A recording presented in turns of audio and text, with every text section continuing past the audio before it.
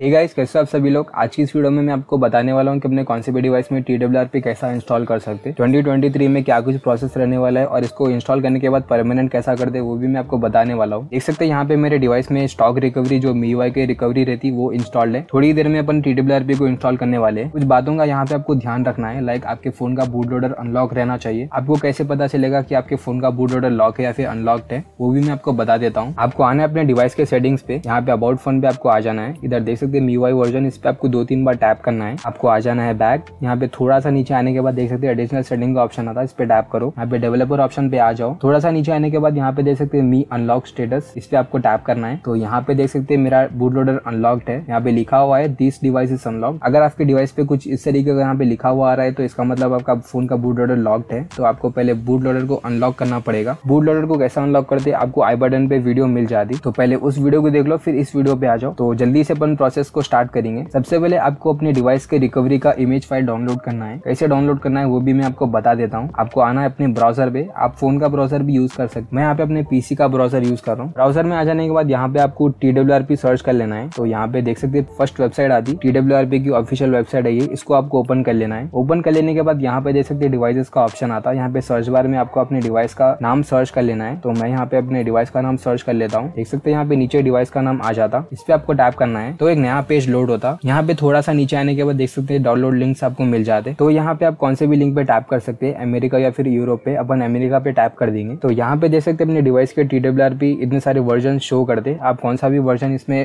कर सकते। और ये देख सकते वन ट्वेंटी की फ़ाइल है सिंपली अपन इस पर टैप कर देंगे। तो यहाँ पे डाउनलोड टी का लिंक आती है, इस पर टैप कर दो। देख सकते हैं, यहाँ पे डाउनलोडिंग स्टार्ट हो गई। इसको आपको डाउनलोड होने देना है। अब आपको अपने पीसी में इस वाली फ़ाइल को भी डाउनलोड कर लेना है। एडीबी सेटअप इसका लिंक डिस्क्रिप्शन में गिवन है। डाउनलोड कर लो सिंपली आपको इसको डबल टैप करना है, यहाँ पे परमिशन को अलाउ कर दो। तो देख सकते हैं ये विंडो ओपन हो जाता। यहाँ पे आपको वाई टाइप करना है और एक बार आपको वाई टाइप करना है इंटर मारना है। तीन बार आपको वाई टाइप करके यहाँ पे इंटर मार देना है। तो देख सकते हैं यहाँ पे ड्राइवर्स इंस्टॉल करने को बोलता। अपने पीसी में यहाँ पे सारे ड्राइवर्स इंस्टॉल कर लो। ड्राइवर्स इंस्टॉल करना बहुत ज़्यादा ज़रूरी है, नहीं तो आपको एरर्स फेस करने को मिलते। जितने भी मोबाइल के ड्राइवर्स है, आपके पीसी में इंस्टॉल कर देता। देख सकते हैं यहाँ पे अपनी फ़ाइल डाउनलोड हो चुकी है। सिंपली आपको इसको कट कर लेना है। कट कर लेने के बाद अपने सी ड्राइव में आपको आ जाना है। यहाँ पे देख सकते एडीबी करके एक फोल्डर क्रिएट हो जाता। अगर ये क्रिएट नहीं भी हुआ है तो आपको उसको खुद से क्रिएट करना है। सिंपली अपन इसको ओपन कर लेंगे। ओपन कर लेने के बाद यहाँ पे आपको इस रिकवरी को पेस्ट कर देना है। देख सकते हैं यहाँ पे रिकवरी अपनी पेस्ट हो चुकी है। तो अब आपको आ जाना है अपने डिवाइस पे। यहाँ पे आपको अपने डिवाइस को पावर ऑफ़ कर लेना है। अपना डिवाइस यहाँ पे पावर ऑफ़ हो गया। अब आपको अपने डिवाइस के फास्ट बूट मोड पे आना है। कैसे आना है मैं आपको बता देता हूँ। यहाँ पे आपको वॉल्यूम डाउन बटन और पावर बटन एक साथ प्रेस करके रखना पड़ता। थोड़ी देर यहाँ पे प्रेस करके रखो तो देख सकते हैं यहाँ पे अपन अपने डिवाइस के फास्ट बूट मोड पे आ गए। अब आपको अपने डिवाइस को अपने पीसी से कनेक्ट कर देना है। यहाँ पे मैं रिकमेंड करूँगा कि आप ये चार्जर के साथ जो यूएसबी केबल आता है, वो यूज़ करो। कोई भी आप इधर थर्ड पार्टी यूएसबी केबल मत यूज़ करो, नहीं तो आपको एरर्स फेस करने को मिलते। तो ऑल सेट है, यहाँ पे अपना डिवाइस पीसी से कनेक्टेड है। अब आपको आ जाना है अपने पीसी स्क्रीन पे। हम यहाँ पे वही एडीबी फोल्डर पे है। सिंपली आपको यहाँ पे ये सर्च बार दिखेगा। इस पे आपको टैप करना है। यहाँ पे आपको सी एम डी टाइप कर देना है। तो यहाँ पे कमांड प्रॉम्प्ट ओपन हो जाता। है यहाँ पे कुछ कमांड्स आपको पास करना पड़ता। वो क्या क्या कमांड्स है, मैं आपको बता देता हूँ। सबसे पहले आपको यहाँ पे फास्ट बूट डिवाइसेस टाइप कर देना है। इससे क्या होता? है आपका डिवाइस पीसी से कनेक्टेड है या नहीं, वो आपको पता लग जाता। तो यहाँ पे देख सकते हैं सीरियल नंबर शो कर रहा। मतलब इसका अपना डिवाइस पीसी से कनेक्टेड है। यहाँ पे सीरियल नंबर शो करना बहुत ज़्यादा ज़रूरी है। अगर शो नहीं कर रहा है, इसका मतलब आपका डिवाइस का बूट लोडर लॉक्ड है। आपको पहले डिवाइस के बूट लोडर को अनलॉक करना पड़ेगा। तो यहाँ पे अपना सीरियल नंबर शो कर रहा। सिंपली अपन नेक्स्ट कमांड पे जाएँगे। आपको यहाँ पे fast boot flash recovery type कर देना है। मेक श्योर करना की रिकवरी के बाद आपको स्पेस देना है। को इसको अपन छोटा कर लेंगे। और ये जो टी जो रिकवरी अपन जो डाउनलोड करे सिंपली यहाँ पे आपको ड्रैग एंड ड्रॉप कर देना है। ड्रैग एंड ड्रॉप कर दिए सिंपली आपको यहाँ पे एंटर टाइप कर देना है। तो यहाँ पे देख सकते हैं सेंडिंग रिकवरी राइटिंग रिकवरी जैसा यहाँ पे फिनिश लिखा हुआ आ गया मतलब आपके डिवाइस में टी भी इंस्टॉल हो चुकी है। यहाँ पे आपको थर्ड कमांड टाइप करना है। क्या करना है, मैं आपको बता देता हूँ। फास्ट बूट स्पेस देके यहाँ पे आपको फिर से टी को ड्रैग एंड ड्रॉप कर देना है इंटर प्रेस कर देना है। यहाँ पे कमांड रन होने में थोड़ा सा टाइम लेता।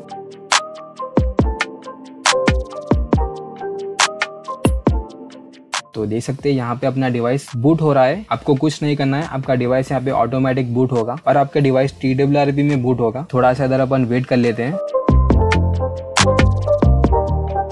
देख सकते हैं, यहाँ पे अपना डिवाइस टी में बूट हो चुका है। सिंपली अपन अपने डिवाइस को पीसी से डिस्कनेक्ट कर देंगे। अब एक इंपॉर्टेंट चीज़ है बैकअप वाले ऑप्शन पे आपको टैप करना है। इधर आपको अपने डिवाइस के बूट का बैकअप ले लेना है। देख सकते हैं, यहाँ पे बूट का बैकअप ये बहुत ज़्यादा ज़रूरी है। लाइक ये आपके डिवाइस को बूट होने में हेल्प करता। तो भाई, ये बहुत ज़्यादा इंपॉर्टेंट फ़ाइल है। सिंपली अपन इस पे चेक कर देंगे स्वाइप कर देंगे। देख सकते हैं, यहाँ पे बैकअप क्रिएट हो चुका है। अगर इनकेस कोई भी आपको बूट लूप देखने को मिलता तो यहाँ पे आप इस बूट वाली फ़ाइल को रिस्टोर कर सकते हैं। आपका डिवाइस सक्सेसफुली बूट हो जाता। ये टी रिकवरी अभी परमानेंट नहीं हुई है। परमानेंट करने के लिए आपको मैजिक्स यहाँ पे इंस्टॉल करना पड़ता। तो सिंपली अपन इंस्टॉल करेंगे। तो देख सकते हैं इधर मैजिक्स 26.0 इसका लिंक डिस्क्रिप्शन में गिवन है। सिंपली अपन इस पर टाइप करके इसको फ्लैश कर देंगे। फ्लैश होने में थोड़ा सा टाइम लगता। देख सकते हैं यहाँ पे फ़ाइल सक्सेसफुली फ्लैश हो चुकी है। आपको अपने डिवाइस को रिबूट कर लेना है। सिंपली अपन रिबूट सिस्टम पे टाइप करके डिवाइस को रिबूट कर लेते हैं। डिवाइस हमारा हो चुका है यहाँ पे रिबूट अब मैं आपको रिकवरी में जाके बताता हूँ कि यहाँ पे टी डब्ल्यू पे रिकवरी परमानेंट हुई या नहीं।